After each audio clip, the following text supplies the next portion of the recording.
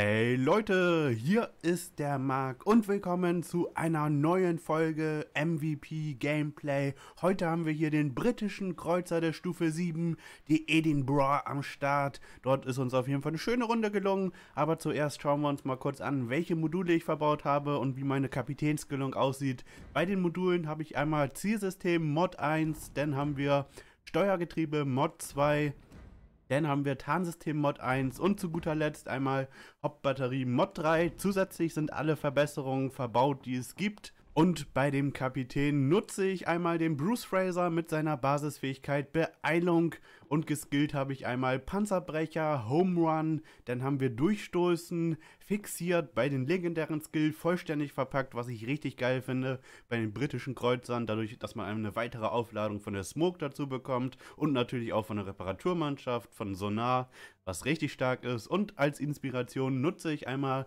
den Isoroku Yamamoto und zusätzlich den Norman Scott. Und ich würde sagen, wir gehen auch direkt ins Gefecht. So, und wir sind direkt im Gefecht auf der Karte Norden. Mit dabei der Black Yamato mit der Lightning. Drei Zerstörer im Gegnerteam. Wir haben nur zwei. Das heißt, die Gegner haben einen kleinen Spotting-Vorteil. Schauen wir mal. Außerdem natürlich auch vier Schlachtschiffe, was natürlich äh, schon brutal sein kann. Als Kreuzer. Schauen wir mal. Black Yamato wird auf jeden Fall Richtung A fahren, da dort kein Zerstörer ist, unsere Schiffe dort unterstützen und ja, ich weiß gar nicht genau, was wir jetzt hier machen. Ich fahre so mal so halb, halb mit, sage ich mal, dass wir vielleicht immer noch die Option haben, vielleicht sogar B einzunehmen. Weil B haben wir halt keinen Zerstörer. Kann halt gut sein, äh, dass ich dort halt hinfahre und das Cap vielleicht hole. Kann aber auch sehr riskant sein und dass wir da schnell sterben. Schwierig. Schauen wir mal, ob wir irgendwas äh, gespottet bekommen. Rechts ist schon mal ein Schlachtschiff. Schon mal gut zu wissen. Vanguard. Hm. Ja, ich habe irgendwie schon, äh, schon Lust nach B zu fahren, wenn ich ehrlich bin. Speziell, wenn wir dort vielleicht auch einen Zerstörer haben. Den können wir wirklich auseinanderhauen mit unserer Edinburgh. Natürlich nice. Okay, zwei Schlachtschiffe sind schon mal bei C. Das heißt, zwei sind nur noch über. Die sind dann halt entweder... Oh, da haben wir eine Miyoko. Die können wir gerade outspotten. Ah, die fährt hier voll rein. Sind jetzt auch gespottet, schießen jetzt mit. Oh, 2000. Dafür nur drei Treffer, vier Abpraller. Ist ziemlich nice. Nochmal 3000. Da müssen wir ein bisschen gucken. Vanguard guckt nicht nach uns. Das ist ganz wichtig. Das heißt, wir können hier weiter fighten. Machen aber jetzt hier dennoch mal eine Smoke an. 14.000 haben wir der Miyoko schon reingedrückt. Das ist geil. Uh, nochmal eine schöne Salve. Jetzt sieht er diesmal auch. Und nochmal eine Dreifach sieht er. Gegnerischer Kreuzer gesunken. Das ist ein guter Anfang. Sehr geil. So haben wir auf jeden Fall schon mal hier First Blood gemacht und äh, einen Kreuzer rausgenommen. Zusätzlich da rechts, habt ihr es gesehen, da kommt noch ein Zerstörer. Hm, lecker.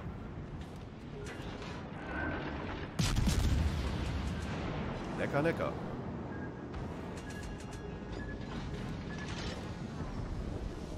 Schauen wir mal, fahren rückwärts. Puh, das tut weh, Akatsuki. Schauen wir mal. 35 haben wir. Ein 8000 haben wir gerade gemacht. Mit einer Salve auf der Akatsuki.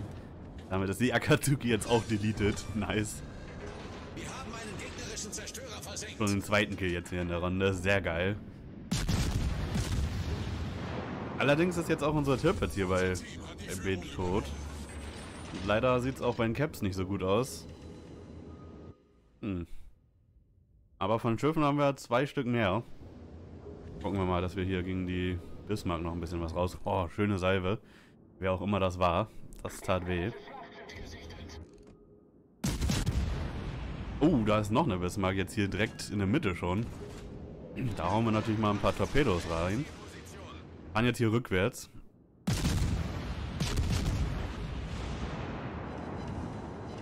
Ja, 6000 Schaden hier mit der Salven. Das, das haut gut rein, auf jeden Fall. Nochmal 5000. Nehmen wir hier gerne mit. Sekundär schießt leider jetzt ein bisschen auf uns. Ah, er bremst leider. Vielleicht kriegt er noch einen Torpedo. Ja, einer geht rein. Schade. Wäre da durchgezogen, dann hätte er alle drei gekriegt. Ja, noch nicht schlecht. Haben jetzt leider von hinten von der Vanguard eine Zitadelle bekommen. Sind halt leider jetzt Planespotter durch die Bismarck hier. Das ist ein bisschen sehr ärgerlich. Ich würde jetzt am liebsten halt rückwärts hier im Cap reinfahren und das erstmal einnehmen. Okay, die Bismarck ist hier raus. Sehr schön. Leider ist das Flugzeug noch immer über uns. Vielleicht ist unsere Flak jetzt so nett und haut das hier mal runter. Ah. Kann ich mit leben mit diesem Treffer. So. Sind jetzt im Cap angekommen. So, und die Flak war auch so nett und hat das Flugzeug endlich runtergeholt. Damit sind wir jetzt hier auch zugegangen. Super. Steht dem Cap hier eigentlich nichts mehr im Wege. Hoffe ich zumindest. 71.000 Schaden bis jetzt. Das nehmen wir natürlich gerne mit. Da haben wir noch eine Jean Bart, müssen wir aufpassen. Ja, Gegnerteam hat auch schon alle Zerstörer verloren. Aber es sind noch vier T7-Schiffe über. Links pusht die nächste Bismarck durch. Kommen wir leider nicht rauf. Aber erstmal das Cap einnehmen. Erstmal das Cap einnehmen. Da haben wir noch die Atago.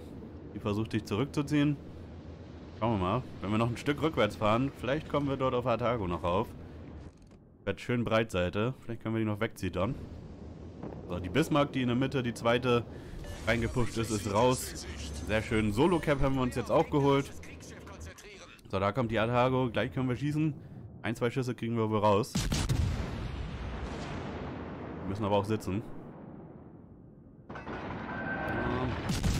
Immerhin 2000. Gucken wir mal, ob der besser ist. Ah, sieht besser aus. Nice. Doppelzieter. Und raus ist die Atago. Unser dritter Kill jetzt sogar. Die Atago hatte natürlich nicht mehr viel. Das war ganz angenehm. Und jetzt können wir jetzt hier noch ein bisschen die Jean Bart bearbeiten. 81.000 Schaden. Ich hoffe, da geht noch so ein bisschen was. Wäre natürlich schön. Jetzt auch abgelenkt. Die Lombati wird da nicht lange leben. So viele Schiffe von uns. Und auch hier wieder gute Treffer. 4000 Schaden direkt. Ah, diesmal nur 1000.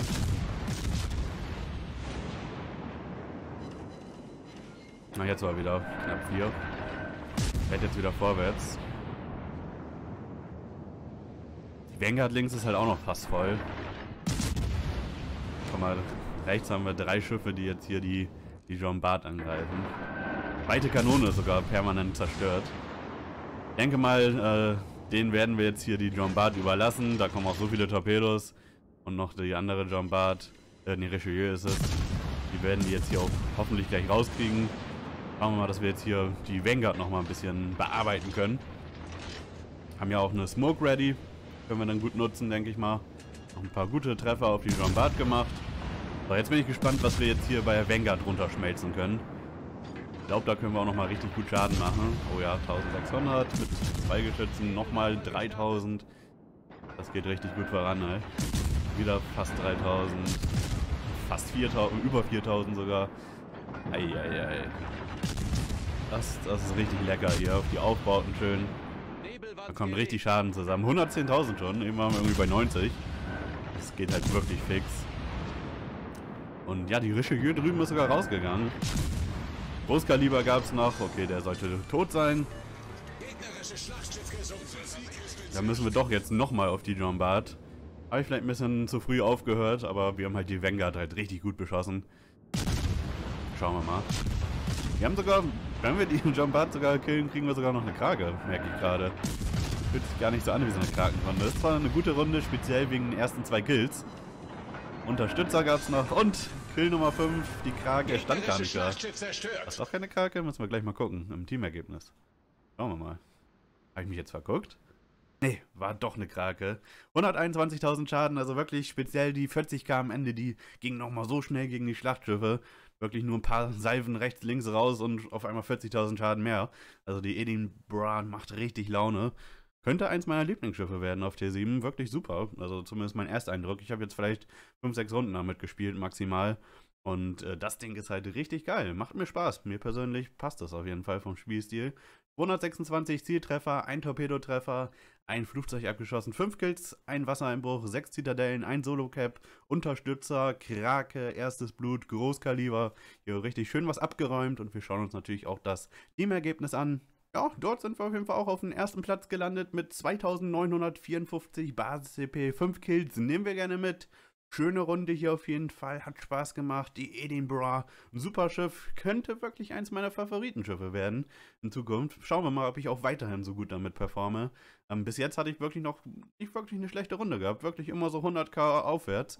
Das war auf jeden Fall immer ziemlich nice. Das war natürlich meine erste Krake, aber wie gesagt, da ist, glaube ich, noch Luft nach oben, auch was den Schaden angeht denke mal, 200.000er Runden sollten damit auch gar nicht so schwierig sein. Müsste ich mal schauen, ob es mir gelingt. Und wir schauen uns natürlich auch nochmal den Wirtschaftszweig an. Dort haben wir wirklich richtig was abgeräumt. 226.000 Kreditpunkte Gewinn gemacht, ohne irgendwelche Kreditbooster. Und es war ja gerade der tägliche Siegbonus von 200%. Zusätzlich habe ich noch die epischen Booster alle benutzt. Und dort haben wir wirklich 17.000 Erfahrungen gemacht, über 4.000 globale EP und 26.000 Kapitäns-EP in der Runde. Das war natürlich richtig, richtig nice. Wenn es euch gefallen hat, lasst auf jeden Fall ein Like da, ein Abo wäre spitze. Schaut in die Videobeschreibung, dort findet ihr meinen Twitter-Account, meinen Twitch-Kanal, meinen Discord-Server. Schaut dort gerne vorbei. Ich würde mich freuen und wir sehen uns dann beim nächsten Mal, Leute. Haut rein. Ciao, ciao.